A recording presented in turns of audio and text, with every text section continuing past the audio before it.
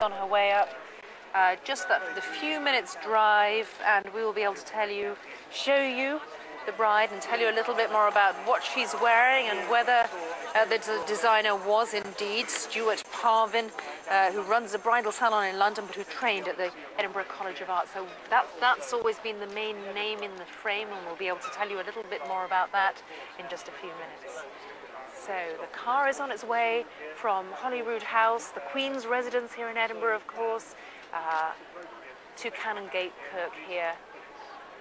You can see the crowd, members of the crowd thinking, do I put down my Union Jack so I can put up my camera, you know, and kind of juggling as they wait for the bride to arrive. They've already had the parade of royals, that great glimpse uh, view of uh, the new Duchess of Cambridge, the young princesses Beatrice and Eugenie, and for those who are on dress and fashion watch, they're getting very excited. And here she is, and here is the bride.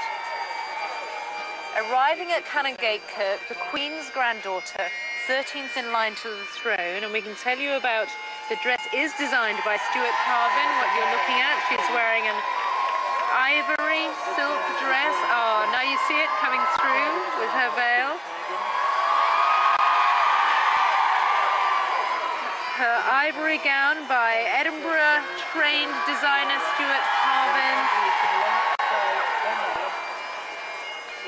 Silk Duchess satin there for the bust of the dress, a very full skirt. And the uh, fabric covered buttons again at the back of the gown and the veil, cathedral length veil. Uh, bouffant style coming out behind that ivory gown. Stuart Parvin, who runs his own bridal salon in London, is an Edinburgh educated designer. There we go. Turning to face the cameras, the very briefest of waves. Now, the wedding gown was chosen, we, we understand, from the, the White Room in Minchinhampton, and the shoes, Jimmy Choo shoes. Uh, the tiara is interesting. You've just had a glimpse there of the tiara, um, which was is the Greek key tiara. Now, this was lent to the bride by her mother, the Princess Royal, Princess Anne. Uh, and we didn't really see very much there, did we? We'll get more later, but uh, the, the tiara has this key effect sculpted into it, and the royal dress we can confirm from Stuart Parvin.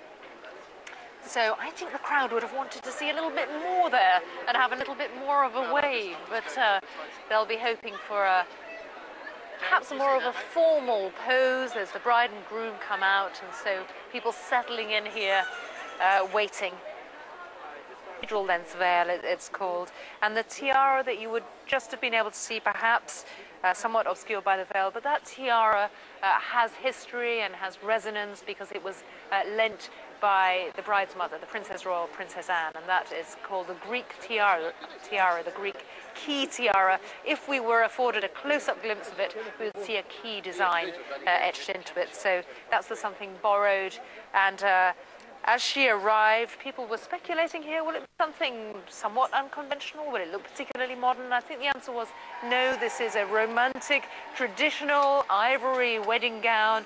Zara Phillips is known for uh, being a little bit daring, uh, being unconventional, being very modern, being her own woman. But today, this was a very traditional dress. And uh, Philippa, the ceremony continues. Uh, we are hoping to see the happily married uh, couple uh, and uh, their families and, and guests uh, pose for some photographs as, as they leave the church. What else can we expect from today? I think we won't see a great deal because this isn't this isn't an occasion for the public or for the media. We'll uh, see the uh, the bride and groom exit. We'll all be watching out for the uh, the royal wedding party as well. Uh, but they will go behind us back down to Holyrood House, which is not very far down Edinburgh's Golden Mile. Uh, mile here, um, back down to the uh, residence of the Queen. Uh, there'll be a, the wedding party there, uh, and we, we don't expect to have very much public access, as it were, to the newlywed couple. Uh, we don't expect to see the doors are opening, so we'll find out how much access we have in the next few minutes. And uh, people kind of scrambling back. You can see there the bride and groom coming down the aisle. of uh, Canongate Kirk. I'm going to just let you have a little more view here because you can see the camera flashes, you can just see that uh, veil. The photographer, we hope, moving from the shot as the bride and groom, Mike Tindall and Zara Phillips, who remains Zara Phillips, emerge. Now you get more of a view of that dress. See the ivory dress and Duchess satin, I'm told, and silk. Uh, she's wearing Jimmy Choo shoes, not that we can see them. The kiss. So the second of the Queen's grandchildren to be married. You can tell that I'm standing next to a lot of the uh, photographers who are, I think, understandably frustrated at their view being blocked here. There we go. They'll be happier now. And we have a moment. Can we have a kiss there? Photographers calling for a kiss. You can see the Princess Royal on the steps. The bride's mother.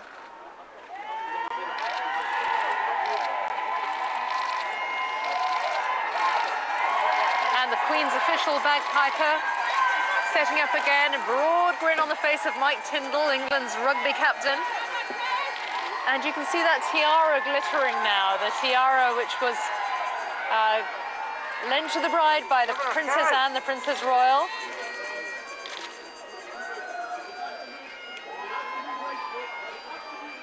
Proud parents behind. And you can see the Queen is just within the door of Canongate Kirk, um, giving the bride and groom their moment. They're being cheered as they are taken back to Holyrood House. A final little wave from Zara Phillips.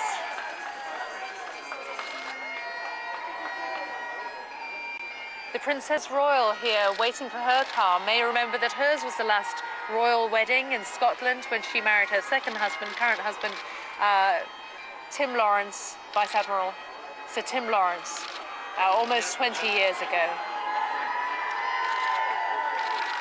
Maybe a little overwhelming for Mike Tindall's family, his, uh, his mum and dad, uh, Phil and Linda Tindall. Though Linda Tindall gave an interview a little while ago in which she said she loved her daughter-in-law and thought she was a nice, ordinary girl. And uh, certainly she's having a very special day. So here we have the parents Yeah, big cheers from everybody.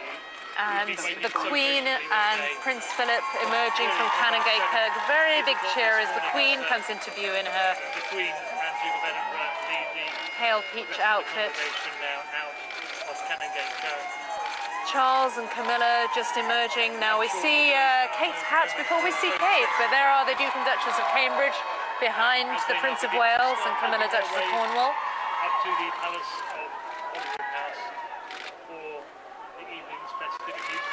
William and Kate perhaps holding back just a little bit, not wanting to be the focus of attention immediately. the rest of the royal family, and But as the Queen waves to the crowd, William and Kate, of course, one of the biggest cheers we have, that we've heard.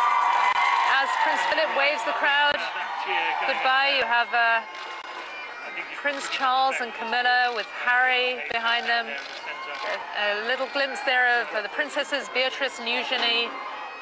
And that incredible oval of a hat, uh, almost a modern sculpture, adorning Catherine, the Duchess of Cambridge. Quite a statement in itself. Very simple, very modern, very striking.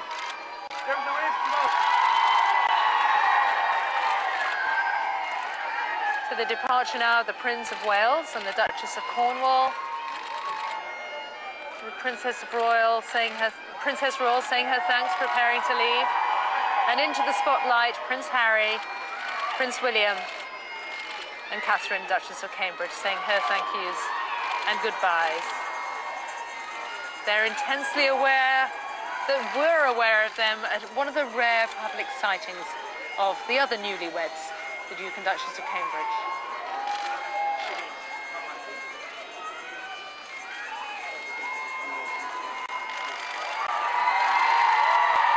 A little wave there from William.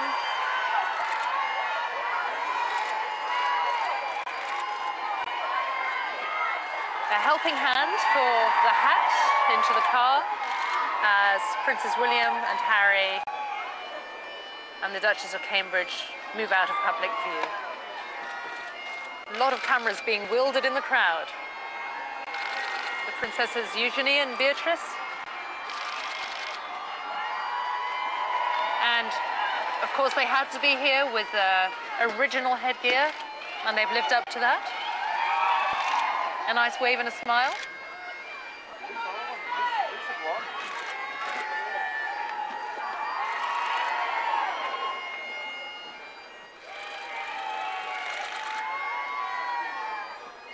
Edward and Sophie, the Earl and Countess of Wessex, now waiting for their car. And uh, I'm absolutely no fashion expert, but there are some extraordinary hats, and this is one of them. Sported by Sophie, the Countess of Wessex.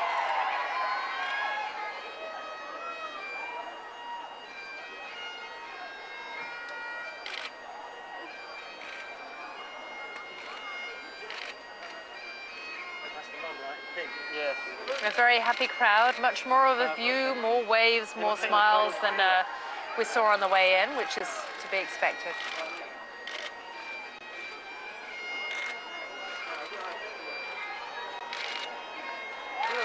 Now, the immediate members of the royal family uh, have their official cars, and then we move into minibuses, and uh, then we'll be into executive coaches.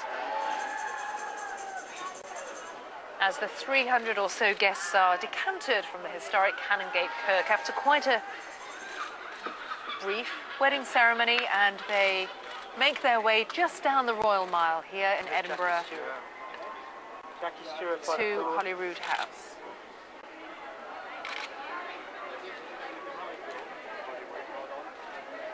We're going to give you another chance now to have a look at those uh, first pictures we saw as the bride and groom, the newly married Zara Phillips and Mike Tindall, emerged from Canongate. Here's, here are the pictures, and we now get a bit more of a view of uh, the gown, designed by Stuart Parvin.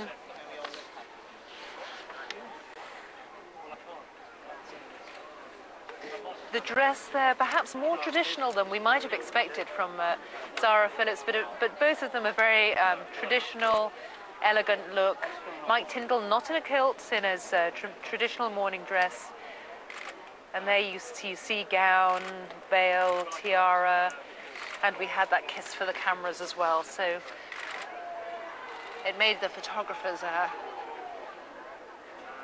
crowded around our media position here outside the church a lot happier.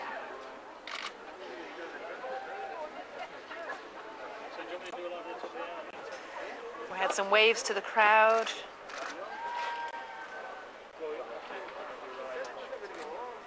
Such a contrast, isn't it, to uh, those rehearsal pictures we saw yesterday with the bride and groom in their um, denims and well dressed down, very, uh, very natural. But they still look very relaxed, knowing that uh, we're all out here, that they're the focus of media attention. They look very uh, relaxed and natural as they get into the car.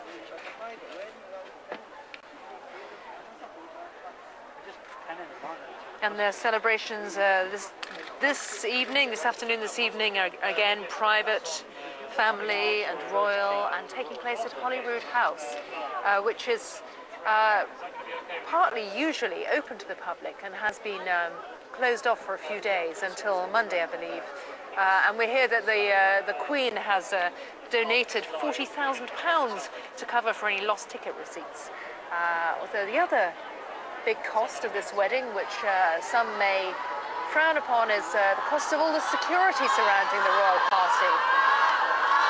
We're told that.